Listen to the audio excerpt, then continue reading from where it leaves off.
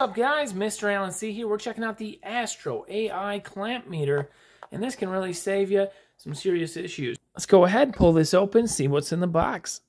All right, inside the box was this nice storage case with a zipper and uh, this little handle here.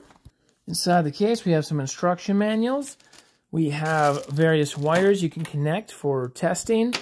And we have the main device itself wrapped in a plastic seal. Let's go ahead, pull it open, and put it to use. Wow, I think this is heavy duty and pretty awesome. Let's go ahead and see what it takes for batteries. All right, so this does take a battery here, and it's already included, it looks like. So let's seal that back up.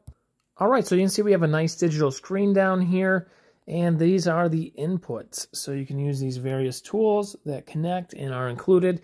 Up top, if we click this and hold it, opens the transformer jaws. Now, when you connect the transformer jaws to a conductor, this will measure the AC current flowing through the conductor. So here we can see the AC current flowing through the conductor of my battery in my car. And that's just using those clamps right there. It's pretty awesome. And give you a readout right here. We also have various different settings that we can switch to to get different sorts of readings.